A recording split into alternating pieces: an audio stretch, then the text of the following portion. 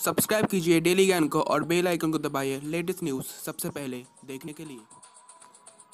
आजकल कुछ लोग जहाँ एक दूसरे के साथ के रिश्तों का महत्व नहीं समझते, वहीं चीन में रहने वाले एक बॉयफ्रेंड ने अपनी गर्लफ्रेंड को आराम देने के लिए एक अनोखा काम किया। उसने अपनी गर्लफ्रेंड के पैरों को आराम देने के लिए उसकी पिंक कलर की हील्स पहन ली और अपनी आरामदायक चप्पल उसे पहना दी। यह फ़ोटो चीन की एक लड़की न ली जिसका सरनेम जाय है। हील्स क्यों पहनी? यह फ़ोटो चीन के चिंगकोंग शहर के जिनक्याओ हॉस्पिटल की है, जहाँ यह लड़का इस लड़की को डॉक्टर के पास चेकअप के लिए लेकर गया था। वहाँ पर लड़की को हाई हील्स पहनने के कारण पैरों में दर्द हो रहा था तो लड़के ने उसकी हील्स खुद पहन ली और अपनी सैंडल उसे दे दी। यह फ़ोटो जाय नामक लड़की ने चुपके से क्लिक की थी। उसने यह भी बताया कि लड़की ने अपने बॉयफ्रेंड से वापस सैंडल चेंज करने को कहा था, लेकिन उसने मना कर दिया। लड़की ने फ़ोटो क्यों क्लिक की?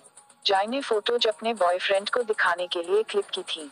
उसने यह फ़ोटोज़ सोशल मीडिया पर शेयर की तो यह वायरल हो गई और दुनिया भर की कई वेबसाइट्स पर यह खबर पब्लिश भी हुई है।